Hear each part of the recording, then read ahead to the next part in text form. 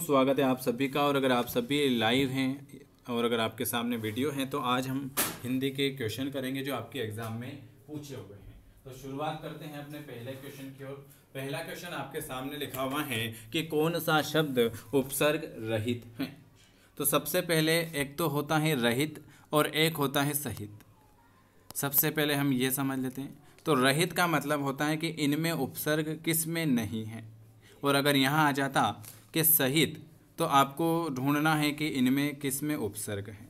तो इसने क्या पूछा? इसने पूछा है कि कौन सा शब्द उपसर्ग रहित है? तो आपको ध्यान रखना है, रहित का मतलब इनमें उपसर्ग नहीं है। रहित का मतलब नहीं। और अगर यहाँ आ जाता सहित तो मतलब इसमें उपसर्ग किसमें है? ठीक है? तो उपसर्ग किसे कहते हैं? जो शब्द किसी भी शब्द के पहले जुड़ता है, उसे उपसर्ग कहते हैं।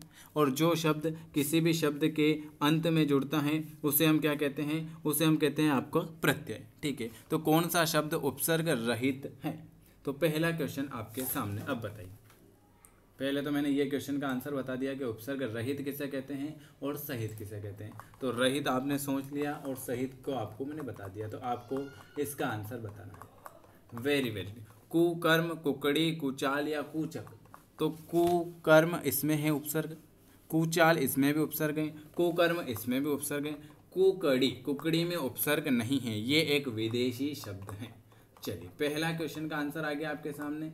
चलिए तो ऑप्शन आपका कुकड़ी हो जाएगा कि इसमें उपसर्ग नहीं इसमें उपसर्ग है उपसर्ग है उपसर्ग है। तो किस शब्द में उपसर्ग नहीं है तो ऑप्शन आपका बी वाला आ जाएगा चलिए अगला क्वेश्चन प्रत्यय रहित व्यंजन. फिर इसने क्या पूछा? रहित. मतलब इसमें प्रत्यय नहीं है. किसमें प्रत्यय नहीं है? रहित का मतलब जो शब्द किसी भी शब्द के अंत में जुड़ता है, उसे हम कहते हैं प्रत्यय. ये तो आप सभी को पता है. प्रत्यय दो प्रकार के होते हैं, ये भी आपको पता है. कृत प्रत्यय और तदित प्रत्यय. चतुराई. चतुराई में कौन सा प्रत्यय है भी चतुराई आई प्रत्यय है. धैर्य. धैर्य में यह प्रत्यय है. धैर्य. धीरे. धीरे धीरे धीरे हाँ धीरे देख, पुत्रवत, अत, पुत्रवत में अत प्रत्यय है। इसमें प्रत्यय है, इसमें प्रत्यय है, इसमें प्रत्यय है। धीर में प्रत्यय नहीं है तो रहित पूछा है तो आपका ऑप्शन सी वाला आ जाए। अगला क्वेश्चन जब शब्द में उपसर्ग और प्रत्यय दोनों हैं, उसका चयन किए। तो देखो, उपसर्ग जो शब्द किसी भी शब्द के पहले जुड़ता है, उसे उपसर्ग कहते हैं। जो शब्द किसी भी शब्द के अंत में जुड़ता है, उसे हम क्या कहते हैं? उसे प्रत्यय। तो दासता नहीं, सत्यता नहीं, असफलता, मूर्खता नहीं। असफलता में आपका क्या आ जाएगा? असफलता में आपका अ तो आ जाएगा उपसर्ग। और ता जो आ जाएगा आपका प्रत्यय। तो इसने क्या पूछा है? जिस शब्द में उपसर्ग और प्रत्यय दोनों हैं, वो हो जाएगा आपका ऑप्शन नंबर सी वाला चलिए। गर्व शून्य में समास है। समास किसे कहते हैं? आप सभी को पता है। समास का अर्थ समास कितने प्रकार के होते हैं, ये आप सभी को पता है। बताइए। समास के बारे में बताइए। आज आपको और आप सभी को नए साल की बहुत सारी शुभकामनाएँ हैं। मैं भगवान से यही प्रार्थना करूँगा कि इस नए साल में आप सभी की जॉब लग जाए और आप सब अपने सिलेक्ट हो जाए और आप सब की जॉब लगे, यही मैं भगवान से प्रार्थना करूँगा। तो अगर वीडियो पसंद आए तो लाइक ज़रूर करें, कमेंट करके ज़रूर बताएँ कि आपको वीडियो कैसा लगा। तो इस साल आप सभी का एक ये जॉब लगेगी, है ना? ये आप सबको एक तय करना है कि इस साल हमको कैसे भी करके 2023 में जॉब लेना है, ठीक है? आपकी एक सीट पक्की है। तो समाज दो या दो से अधिक शब्द जब अपने विभक्ति या चिन्ह, विभक्ति कारक चिन्ह या अन्य को छोड़कर एक हो जाए तो उसे हम क्या कहते हैं? उसे हम कहते हैं समास ठीक है? समास कितने प्रकार के होते हैं? समास आपके छह प्रकार के होते हैं, ये भी याद है। अवयवी भाव समास, तत्पुरुष समास, कर्मधारय समास, द्विगु समास, द्वंद्व समास और बहुब्रीय समास। अवयवी भाव में पहला पद अवयव होता है, ये भी आपको पता है। तत्पुरुष समाज में कारक विभक्ति होती है। कर्मधारय समाज में उपमान, उपमय होता है। द्विगु समाज में संख्या होती है।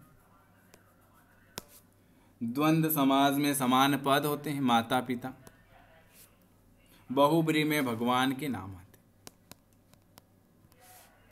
चलिए तो गर्व शून्य में समास है। तो गर्व शून्य का समास विग्रह हो जाएगा, क्या हो जाएगा? गर्व से शून्य। क्या हो जाएगा? गर्व से शून्य। ये होता है। तो इसमें कौन सा समास है? कर्म तो होगा नहीं।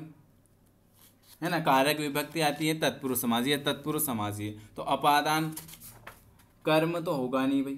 कर्म कर्ता ने कर्म को करण से संप्रदान के लिए अपादान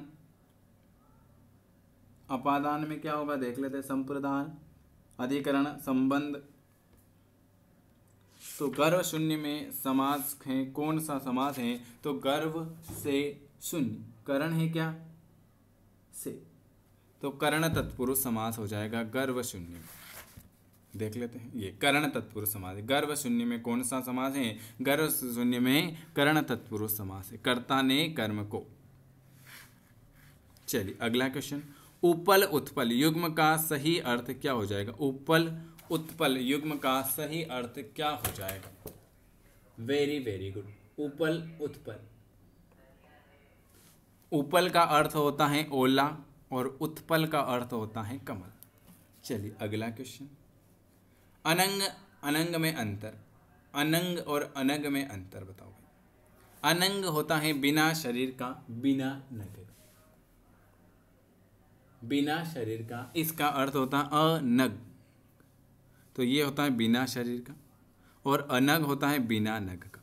ऑप्शन आपका बी वाला आ जाएगा। निम्न में से कौन सा विकल्प अलग है? कनक, सोना, धातु, खजूर। चलिए ये सेम है तीर, बाण, किनारा, धनुष देख लेते हैं। पयोधर, बादल, गन्ना, पर्वत, ये भी सही है। माँ, पृथ्वी, भूमि, दिशा, ये अलग है। तीर हैं, बाण हैं, धनुष ये तीनों तो सेम है, लेकिन ये किनारा अलग आ गया। तो ये कौन सा भिन्न हो जाएगा? ऑप्शन आपका बी वाला। ठाकुर का अनेकार्थी, ठाकुर का सेवक, स्वामी, भगवान, जाति विशेष। तो ठाकुर का अनेकार्थी कौन सा नहीं है? तो ठाकुर को हम कहते हैं, एक तो ठाकुर को स्वामी कहते हैं। भगवान ठाकुर जी, है ना? भगवान जाति विशेष, सबके अलग अलग जाति के विशेष के अनुसार। तो सेवक नहीं होता है, ठाकुर का सेवक नहीं होता। ठाकुर जी ठाकुर जी नहीं कहते, आप भगवान की पूजा करते हो, ठाकुर जी ठाकुर जी की पूजा करते हो तो वो हैं अपने भगवान, वो है अपने स्वामी, वो अपने जाति विशेष, लेकिन सेवक नहीं होते हैं ठाकुर जी। ऑप्शन आपका ए वाला गलत हो जाएगा। कौन सा अनेकार्थी नहीं है। जो नया है, चैनल को सब्सक्राइब कर लेना। डेली क्लास में जुड़ना चाहते हैं तो इस नंबर पर व्हाट्सअप कर देना और लिख देना कि हिंदी पीडीएफ। तो आपको हिंदी की पीडीएफ प्रोवाइड करा दी जाएगी। Nine seven five three seven four double nine eight six. ये बिल्कुल नंबर हैं। आप इस नंबर पर व्हाट्सअप करके हमसे पीडीएफ ले लेना इसकी, जो सभी एग्ज़ाम के लिए। और आपकी डेली क्लासें चल रही हैं, जिसमें आपका एम पी की क्लास चल रही हैं। जिनको एम पी की क्लास साइंस की क्लास हिंदी की क्लास नहीं मिलती हैं, वो कृपया करके मैसेज ज़रूर करें। डेली आपकी क्लासें चल रही हैं।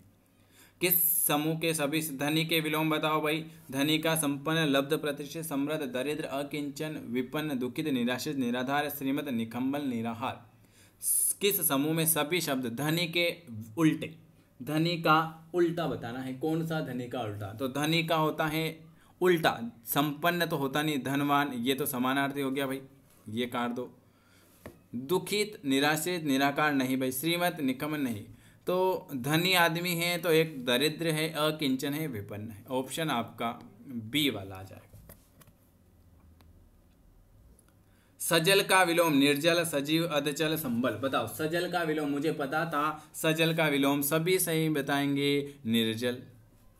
चलिए, सजल का विलोम जो होता है, निर्जल होता है। चलिए, अगला। सरस्वती का पर्यावची। सरस्वती का भारती, शारदा, वाक या यह सभी? सरस्वती का पर्यावची। तो सरस्वती के पर्यावची आप सभी को पता है, शारदा, भारती, वाक। तो हम क्या लगाएँगे? यह सभी। अभयस्त का पर्यावची। परिश्रमी, तेजस्वी, आदि या मेघावी। तो परिश्रम का तो आप सभी को पता है, परिश्रम का पर्यावची होता है श्रम। उद्यम, मेहनत। तो अभ्यस्त का पर्यावची बताओ भाई, अभ्यस्त का पर्यावची होता है आदि। चलिए अगला क्वेश्चन दोपहर के पहले, दोपहर के पहले का समय क्या कहलाएगा? दोपहर के पहले का समय पूर्वाहन कहलाएगा। क्या कहलाएगा? दोपहर के पहले का समय पूर्वाहन कहलाएगा।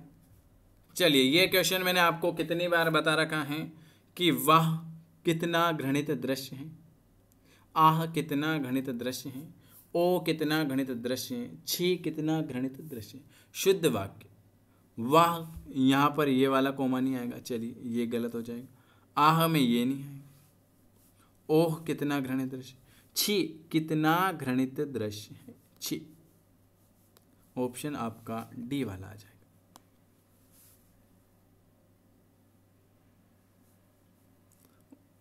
चलिए, अगला। निम्नलिखित वाक्यों में से, अगला।